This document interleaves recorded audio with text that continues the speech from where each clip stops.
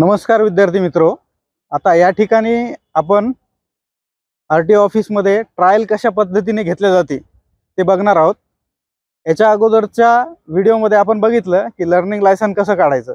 Learning लायसनसाठीची जी परीक्षा असते online परीक्षा असते ती दिल्यानंतर तुम्हाला जे लर्निंग लायसन भेटतं ते लर्निंग लायसन भेटल्यानंतर एका महिन्यानंतर तुम्हाला ट्रायलची डेट बुक करायची असते म्हणजे अपॉइंटमेंट बुक करायची असते.